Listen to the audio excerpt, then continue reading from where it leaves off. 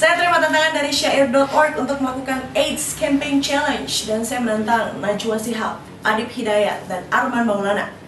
Watch out, smart today, stop AIDS.